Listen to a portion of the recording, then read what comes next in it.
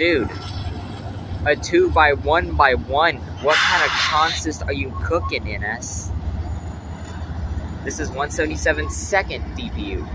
So it's got a 2 by 1 by 1 Two units up front, one in the middle, one on the rear.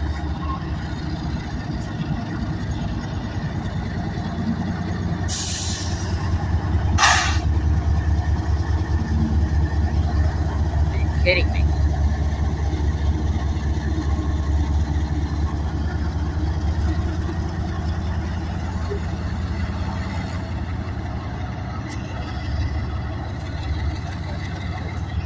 I'm zooming in because I'm taking photos.